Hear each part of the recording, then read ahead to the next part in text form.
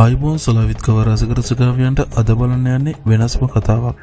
මන්ත්‍ර ඒවනැත්තං අනිමින කොඩිවින වා විශ්වාස කරනවාද? ඇත්තට මේ වගේ දෙවල් තියෙන්න්න පුළුවන්ද? කොඩිවින කරලා මිනිස්සුන්ග මරන්න පුළුවන්ද? ඒනම් මා ඕර් පෝලි මේරා කියන දෙදස් විසේගේ ලිස්තුන මේ සුපිරි මූයක අපි බල්ලෙමු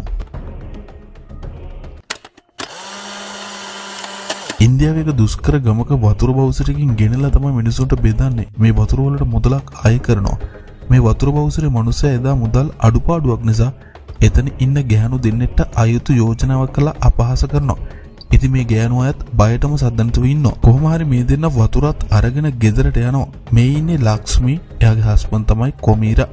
මිනිහා කරේ ත්‍රීවිල් රැකියාව. කොමරට මල්ලි කෙනෙකුත් ඉන්න මිනිහාගේ නම ජංග. ජංග මේ දවස්වල පොලිසියට බැඳෙන්න කියලා සූදානම් වෙන ගමන් ඉන්නේ. මේ ගෙදරට එහා පැත්තේ ඉන්නේ රාමුලා කියන ගෑනු කෙනයි එයාගේ හස්බන්ඩ් බලීජ කියන කෙනයි. මේ බලීජ අමු බේබද්දික්. ඒ නිසා රාමුලා නිතරම බලීජට බනිනවා මේ බීමත්කම නිසා. කොහොමහරි මේ රාමුලා වතුර ගන්න ගියාම වෙච්ච සිද්ධිය ජංගට කියනවා. මේහින්ද ජංගට තරහගෙන් මිනිහ වතුර බෞසරේ මනුස්සර ගහන්න කියලා යන්න හදනකොට ලක්ස්මි මේක දෙකලා ජංගව නතර කරගන්නවා. ඉති ලක්ස්මි කියනවා ජංග අපිට ඒ මිනිස්සු එක්ක හැප්පෙන්න්න බෑ. උන් සල්ලිකාරු මිනිමරුවෝ අනික ඔයා පොලිසියට බැඳෙන්න ඉන්නේ ඒ නිසා රණ්ඩුවලට යන්න එපා කියලා ජංගව නතර කරගන්නවා. ඉතින් දවසක් ජංග බලීජ එක්ක බයිසිකලේ පාර දිගේ එනකොට බලීජ දකිනවා පාරේ කවුරු හරි පූජාවක් කරලා පූජා වට්ටිය පාරේ හලලා තියෙනවා. අර තුම්මන් හන්දිවල එහෙම හලලා තියෙනවා ඔයාලා දැකලා ඇතිනේ. ඉතින් මේක දැකපු ගමන් බලීජ බය වෙලා ජංගට කියනවා ජංග උතනින් යන්න එපා මේ ගමේ අඳුරු මායාවන් කොඩිවින කරන අය ඉන්නවා අනිවාර්යෙන් ඔය එහෙම කරපු පූජාවක් ඒ නිසා අපි වෙන පැත්තකින් යමු කියලා චංගවත් එක්කගෙන වෙන පැත්තකින් යනවා. අනිවින කුඩිවිනිකෝ මිනිස්සු කොහොමත් බයයිනේ. එතකොට කොමිර දුක්මහන්සින් ත්‍රීවිල් රැකියාව කරලා හම්බ කරන මනුස්සෙක්. ඒ වගේම මිනිහා අනිත් මිනිසුන්ට උදව් කරලා බොහොම සාමකාමීව ජීවත් වෙන මනුස්සෙක්. ඉතින් කොමීරා හම්බ කරන හැම සතියම දෙන්නේ ලක්ෂ්මිගේ අතට. ලක්ෂ්මී දරුවේ තමයි මිනිහගේ මුළු ග්ලෝකෙම උනේ. ඉතින් මෙයාට අඩුම වැසිකිලියක්වත් නැහැ. ඉතින් මෙයාය වැසිකිලි කරන භාවිත කර ළඟ තියෙන කනත්තේ තියෙන කැලෑ ඉඩම ඒ වගේම හැම රාත්‍රියකම ලක්ස්මේක නිදිහාන සතුරු වෙන්නත් කොමිරා අමතක් කරේ නෑ. ඊළඟට මේනේ සරපච් මිනිහා ගෑනු පෙරේතය ඒ විතරක් නෙවෙයි තනි කරම මිනිමරුවෙක්. සල්ලි බලෙන් දුප්පත් මිනිස්සු පාගගෙන තමයි මිනිහා ජීවත් වෙන්නේ. ඒ නිසා මුළු ගමම මේ සරපංච් කියන මනුස්සයාට පුදුමාකාර බයකින් තමයි ජීවත් වෙන්නේ. ඉතින් දවසක් මේ සරපංච් එක ගෑන් ළමෙක්ට විරුද්ධව පොලිසියට පැමිණිල්ලක් කරනවා බයිසිකලෙන් ඇවිත් මිනිහාගේ කාර් එකේ වැද්දුවා කියලා. ඉතින් එදා මේ ගෑන් ළමව බේරගන්න කොමිරා පොලිසිට ඇවිත් වැඳ වැටිල සමාව අරගෙන මේ ගෑල්ලමයෝ බේරගන්නවා ඒ තරමට මිනිස්සුන්ට උදව් කරන කෙනෙක් තමයි මේ කොමිර කියන්නේ. ඒ නිසා ගම මිනිසුම කොමිර ගැන තියෙන්නේ ලොකු ලෙංගතුකමක් ඔය අතර තමයි කොමිරගේ මල්ලි ජංග පොලිසියට බැඳෙන්න කියලා ගමෙන් පිට වෙන්නේ. ඉතින් ජංග කොමිරටයි බලීජට සමුදීල තමන්ගේ රැකියාව ලබා ගන්න ගමෙන් පිටත් වෙන ලෑස්තිනවා මේ කොමිරගේ යාළුවා එහෙම නැත්නම් අසල්වැසිය වෙන බලීජ බීබද්දෙක් නිසා නිතරම එයාගේ බිරිඳ එක්ක රණ්ඩු වෙනවනේ. ඒ නිසා කොමිර කියනවා බලීජ තැන්වත් ඔය බොන එක නතර කරන්න. එතකොට පවුල් ප්‍රශ්නත් නෑ. බොරුවට වියදන් කරලා ඔය ජරාව බොන එක නතර කරන්න කියලා උපදෙස් ටිකකුත් දෙනවා. හැබැයි මේ බලීජට බොන්නේ නැතුරන් ඉන්න බෑ.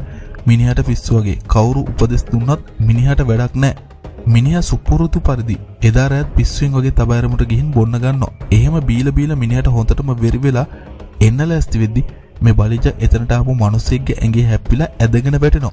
ඒ වෙලාවේ බලිජට විරි නිසා නැගිටපු ගමන් ඇඟේ හැප්පුණු මනුස්සයාගේ කොළ එකෙන් අල්ලගෙන ගහන්න හදනවා. හැබැයි මේ ඇඟේ හැප්පුණේ සරපංච්ගේ ගෝලෙක්. ඔන්න පහුවෙන්දා උදෙන්ම කොම්රි දුවගෙන එනවා සරපංච්ගේ ගෙදරට. මොකද බලිජ කලින් දවසේ රණ්ඩු කරගන්න ගියේ සරපංච්ගේ ගෝලෙක් එක්කනේ.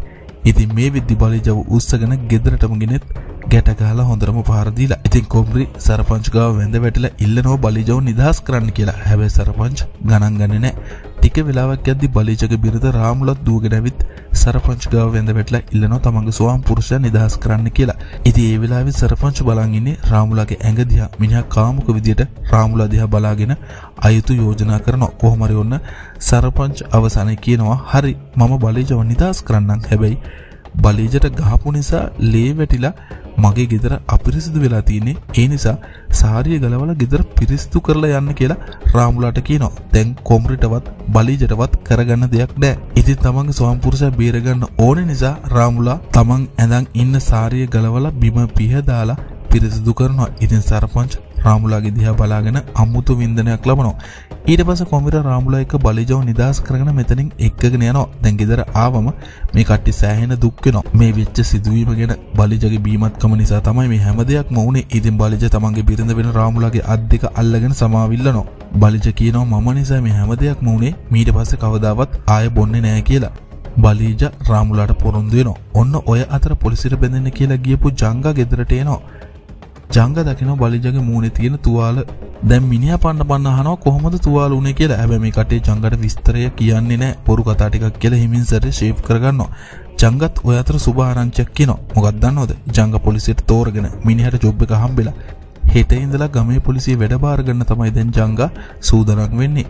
එදා කොමිර කෑමකන්න ලෑස්තිවෙදි ලක්ස්මිත් ළඟින් ඇවිත් වාඩි වෙද්දි කොමිරා ලක්ෂ්මියෝ දැක්කම ආසාපාපත් මිනිහා එක යටපත් කරගන්න එදාරය ලක්ෂ්මි කොමිරට තුරුල් වෙද්දි කොමිර කියනවා ලක්ෂ්මි අදමට ටිකක් සනීපමදී. ඒ නිසා අපි නිදාගම කියලා මිනිහ නිදාගන්නවා. වෙනදට නම් ගොඩක් වෙලාවට මේ දෙන්න සතුරු වුණාට එදා මිනිහා ලක්ෂ්මියෝ මගාරිනෝ පහුවද ඔන්න ජංග ගමේ පොලිස්ටේෂනකට ගිහින් වැඩ බාරගන්නවා මිනිහා පොලිස් රැකියාවට ගොඩක් ආසාවෙන් ගියත් ඉහළ නිලධාරිකේ ආවතේවකම් කරන්න වෙන එක ගැන නම් මිනිහට එන්නේ කලකිරීමක් ජංග එදා අවස වැඩීවර වෙලා ගෙදර යදි මෙයාගේ මාම ගැන කෝල් එකක් ගන්න මේ මාම මන්ත්‍රගුරුකම් කරන මනුස්සෙක්. මිනිා ජංගට කියනවා ජංග මේ දවසල කොමිරට අපලයක් තියෙනවා. ඒ නිසා කොමිරට පරිස්සං වෙන්න කියලා. මේ කතාව ඇහුවම ජංගට බයහිතනවා තමන්ගේ අයියා කොමිරට කරදරයක් වේද කියලා. සරම්පංච් කියන මැරයා කාරකෙ ගමනක් යන්න පිටත් වෙන්නෙත් එදාමයි. හැබැයි මිනිහට නොහිතන විදිිය අනතුරක් වෙලා සරපංච් කියන මේ ගෑනු පෙරේත මැරයා මරණයට පත්වෙනවා දැම් මේ සුබ ආරංචි බලිජ දුවගෙන ඇවිත් කොමිරට කියනවා. බලිජ කියනවා අපේ සාපේ වැදිල තමයි ඌ මැරුණ කියලා. එවිලායි කොමිරි කියනවා මනුස්සෙක් මැරුණම ඇයි සතුරු වෙන්නේ? මනුස්ස ජීවිතයක් නැතිවෙන එක ගැන සතුරු වෙන්න එපා කියලා. තැම් බලිජටයි ජංගට හිතාගන්න බෑ. මෙච්චර තමන්ට කරදරය කරපු සරපංච් මැරුණ කියන ආරංචිටවත් කොමිර සතුරු වෙන්නේ නැති එක ගැන. කොමිර හැම කෙනාටම යාපතක් මිස අයාපතක් වෙනවට කැමති නෑ ඔය විදියට දැන් කාලය ගත වෙද්දි එක දවසක් ලක්ෂ්මි කෝල එකක් ගන්නවා ජංගට. ඉක්මට එන්න කියලා. ජංග ගිහින් බලද්දි තමයි දැනගන්නේ කොමිර කලින් දවසේ රෑ ගියපු ගමන් තාමත් ගෙදර ඇවිත් නැති බව. ජංග කියනවා හරි මම කොහොම හරි කොමිරව හොයාගෙන එන්නම් කියලා ඔන්න මිනිහා පිටත් වෙනවා කොමිරව හොයන්න. දැන් ජංගට බයයි තමන්ගේ අයියා කොම්රිට කරදරයක් වෙලා ඇති කියලා. මොකද එදා මාම කෝල් කරලා කිවන්නේ කොම්රිට අපලයක් තියෙනවා කියලා. අන්න ඒ නිසා දැන් ජංග හැමතැනම කොම්රිව හොයන්න ගන්නවා. ඒ අතර බලීජරත් මේ ආරංචි වෙලා දැන් දෙන්නම එකතු වෙලා කොම්රිව හොයන්න ගත්තට කොම්රිට වෙච්ච දෙයක් නෑ. ඔය අතර මේ දෙන්න දකිනවා කනත්ත ළඟ කලින් දවසේ මිනිහා පුච්චපු අලු ගොඩක්. බලද්දි අලු ගොඩේ මිනි ඔලු දෙකක් තියෙනවා. පුච්චන්නේ එක මිනිහයි. ඒත් ඔලු දෙකක් කොහෙන්ද? වෙනදට කොම්පි වැසිකිලියන්න එන්නෙත් මේ කනත්තට. දැම් මේ සිද්ධිය ඉන්දයානු මාධ්‍ය වාර්තා කරන්න ගන්න කොම්රිගේ කරේ තියෙන ට්‍රවල් එක මිනිියගේ සෙරෙප්පු දෙක මේ ගිනි සෑයළඟ තියෙන නිසා කොම්රිත් මේ ගිනි සෑයට වැටල ඇති කියලා පොලිසි තහවුරු කරගන්නවා. ඉති කට්ටි හිතන්නේ කොම්රි මේ මිනිිය පුච්චුපු තැනට ඇවිත් මොකක් හරි කොඩිවිනයක් කරන්න හදනකොට මිනිහත් මේකට වැටෙන්න ඇති කියලා හැබැ ගම මිනිසු කියනවා කොම්පි ගොඩක් අහිංසකයි. එයා කාටවත් වරදක් කරන්නේ නෑ කියලා. දැ මේ මිනිසෑයි ඔලු දෙකත් තිබ්බනේ. පොලිසිය කියන විදිට එකක් කොම්රිගේ එතකොට අනික කාගෙද? හරියනම් බලමුද? මේ අලුගුඩේ තිබ්බ අනික් මිනි ඔළුව කාගෙද කියලා. මේ සිදුවීම වෙන්න සතියකට කලින් තමයි මේ සිදුවීම වෙන්නේ. මේ ගමේ කවිත කියලා ගැබිනි ගෑනු කෙනෙක්කින්න කවිත මේ තත්වේ ඉඳගෙන ගෙදර වැඩ කරන එකට කවිතගේ හස්බන් කවිතට බනිනෝ වැඩ කරන්න එපා කියලා. ඔන්න ඔය අතර කවිතට අමාරු වෙනවා. මැට එක පාර්ටම මෙහෙම අමාරුුණ නිසා ඉක්මට කවිතාව හොස්පිටල් එකට ඇතුළු කරනවා. කවිතව පරීක්ෂා කරලා ඩොක්ට කවිතගේ පවුලේ අයට කියනවා කවිතට එක පාරට අධික උනක් ඇවිල්ල තිනවා. අපිට හිතාගන්න බෑ මොකක්ද කියලා. කවිතගේ ඇඟ පුරාම තුවාල තියෙනවා කුෂ්ට තියෙනවා. අපිට තාම හොයාගන්න බෑ මොන හේතුවකට දෙහෙම උනේ කියලා කියනවා. දොස්තරටත් හොයාගන්න බැරි මේ රෝගය ගැන අහන්න කවිතගේ පවුලේ අය මන්ත්‍රකරුවෙක් හම්බෙනවා. ඉතින් මන්ත්‍රකරු කවිතගේ ෆොටෝ වගේ බල්ලා කියනවා මේක රෝගයක් නෙවෙයි කවිතට රේණුකා අවතාරය කියලා කළු මැජික් එහෙම නැත්නම් නොපෙනෙන බලවේගයකින් කරපු අති භයානක ගුරුකමක් හින්දායි මෙහෙම වෙලා තියෙන්නේ කියලා. මන්ත්‍රකරු කියනවා කවිතව ජීවත් කරවන්න බෑ කියලා. අන්න එතකොටම කවිතගේ හස්බන්ඩ් කෝල් එකක් එනවා.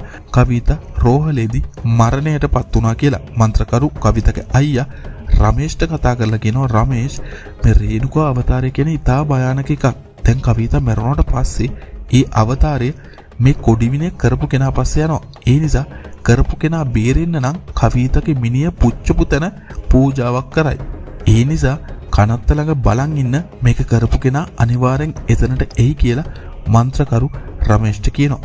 තමන්ගේ නංගිට මේ කොඩිවිනය කරපු එක හොයාගෙන ඌව මරන්න රමේෂ් තීරණය කරනවා. කවිතගේ මිනිය කනත්තට ගෙනත් දරසෑයට දාලා ගිනි තිබ්බට පස්සේ රමේෂ් කනත්ත බලාගන්න මල්ලි කියන කෙනාට කතා කරලා කියනවා මල්ලි මේ සල්ලි තියාගන්න අපිට උදව්වක් ඕනි. අද රෑ ගෙදර යන්න නැතිව මෙතන මුර කරන්න කවුරු හරි කෙනෙක් මේ කනත්තට ආවොත් අපිට ඒක දැනුම් දෙන්න කියලා මල්ලි කියන කනත්ත බලාගන්න කෙනාට ෆෝන් නම්බරයක් දීලා සල්ලි දීලා රමේෂ් මෙතරින් යනවා. එදා රෑවිලා කොම්රි ගෙදර ඇවිත් වෙනද වගේම සල්ලි ලක්ෂ්මිට දෙනවා. අන්න ඒ වෙලාවේ ලක්ෂ්මි දකිනවා කොම්රිගේ අතින් ලේ ගලනවා ඒ නිසා ලක්ෂ්මි අහනවා කොම්රි මොකද මේ ලේ එන්නේ කියලා. ඉතින් කොම්රි කියනවා ඒක එච්චර දෙයක් නෙවෙයි මම වැටිලා තුවාල වුණා කියලා ලක්ෂ්මගේ හිත හදනවා. ඊට පස්සේ එළියට වෙලා ඉන්න කොම්රි වැසිකිළියට යනවා කියලා ලක්ෂ්මිටත් කියලා දාගෙන යන බාට දෙකක් බැලුවොත් මිනිහා ගෙදගෙන ඒ නිසා ඒ ළඟපාත නිදන් ඉන්න අල්ලපු ගෙදර බලීජගේ සෙරෙප්පු දෙකක් දාගෙන කනත්ත පැත්තට යනවා.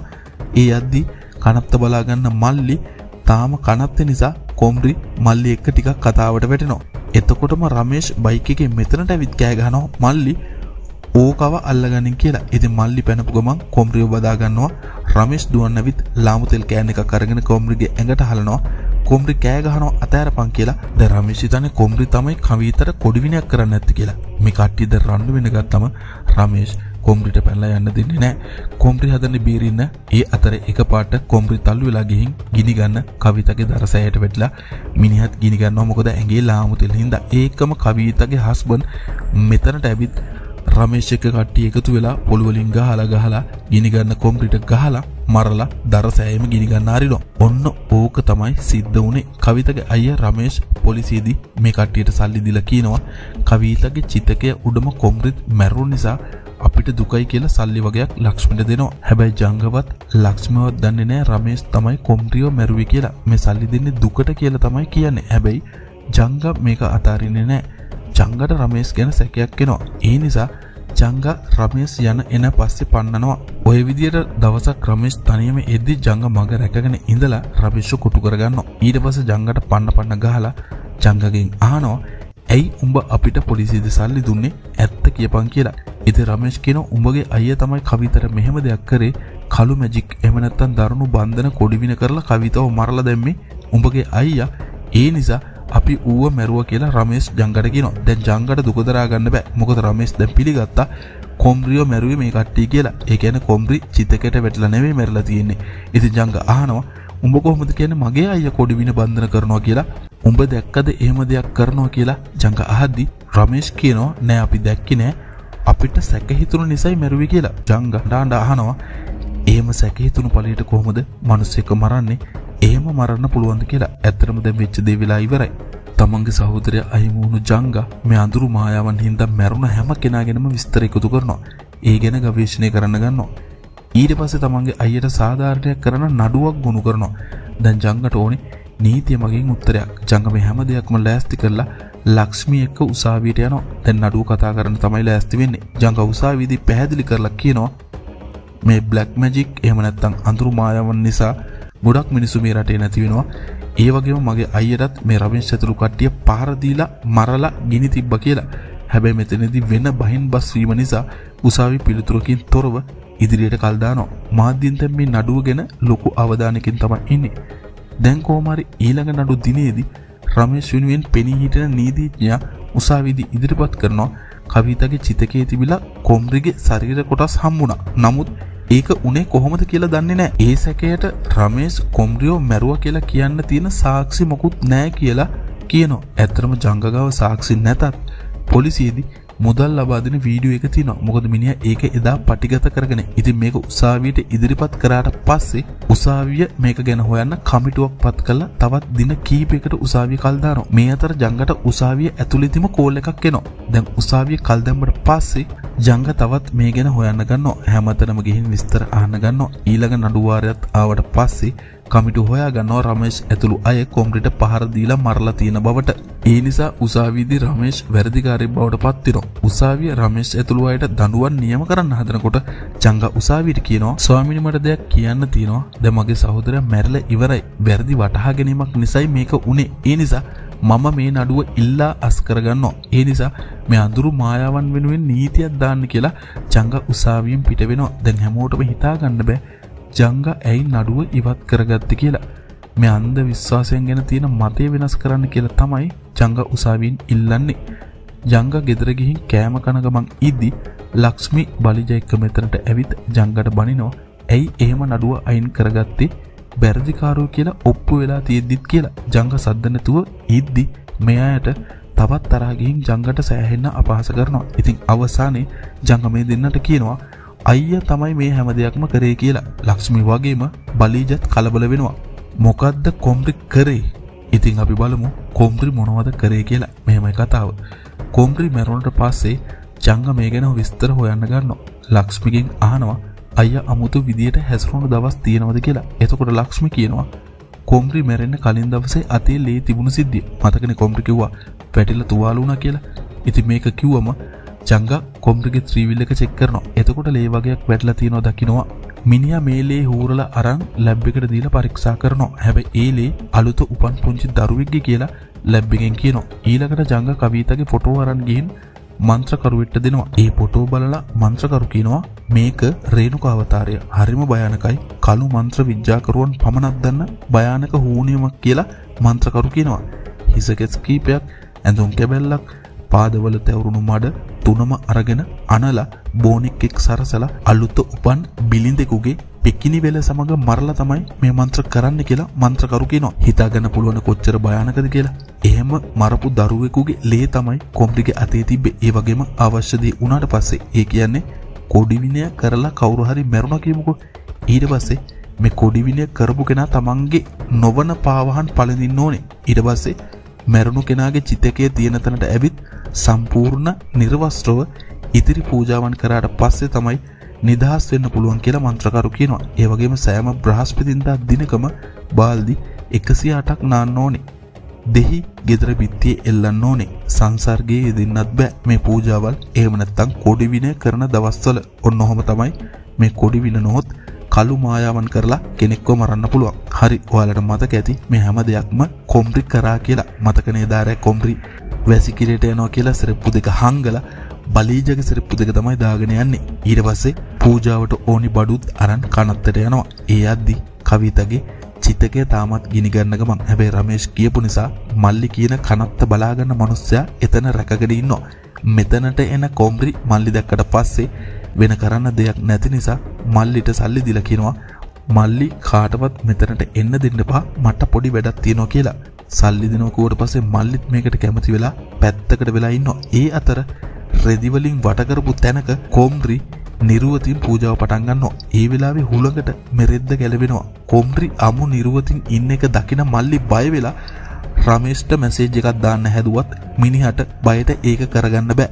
හැබැයි මල්ලි මේක වීඩියෝ කරගන්නවා. දැන් මිනිහා බය වෙලා ඉන්නේ හොඳටම. ඒ අතර පූජාව ඉවර කරපු කොම්රි බඩු ටිකත් පැක් කරගෙන වටපිටාව සුද්ධ කරලා මල්ලිට කතා කරද්දිම මල්ලි මැසේජ් එකක් යවනවා රමේෂ්ට ඉක්මට එන්න කියලා. හැබැයි බයට ෆෝන් එක විසි කරනවා. මැසේජ් එක ආපු ගමන් රමේෂ් කනත්තට එන්න පිටත් වෙනවා. පූජාව ඉවර කරපු කොම්රි මල්ලි එක කතාවට වැටෙනකොට රමේෂ් මෙතනට ඇවිත් කෑ ගහනවා මල්ලි ඕකව අල්ලගනින් කියලා. ඉතින් මල්ලි කොම්රිව අල්ලගත්ත ගමන් රමේෂ් දුවන්න ඇවිත් භූමිතෙල් කෑන් එක කොම්රිට විසි කරලා කොම්රි එක රණ්ඩු වෙන්න ගන්නවා. දැන් මේ දින මේ විදිහට පොර බඳමින් රණ්ඩු වෙද්දි කොම්රි එකපාරට ගිනිගුරට විසි වෙලා මිනිහා ගිනි ගන්නවා. රමේෂ් නැගිටලා ගිනි ගන්න කොම්රිට ගහද්දි එතනට එන කවිතගේ හස්බනුත් පොළි වලින් ගහලා කොම්රිව මරලා දානවා.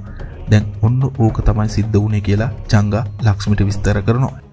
හැබැයි මේ කතාව බලීජ විශ්වාස කරන්නේ නැහැ. තමන්ගේ යාළුවා එහෙම මන්ත්‍රකරුවෙක් නෙවෙයි කියලා බලීජට හොඳටම විශ්වාසයි. හැබැයි ජංග ඒ වෙලාවේ ෆෝන් එකක් එළියට ගන්නවා. මේ ෆෝන් එක මල්ලිගේ එදා කනත්තේ සිදුවීමෙන් පස්සේ මල්ලි මේ වෙනතුරු අතුරු දහන්. හැබැයි එදා මිනිහා ෆෝන් එක දාලා තමයි දුවලා තියෙන්නේ.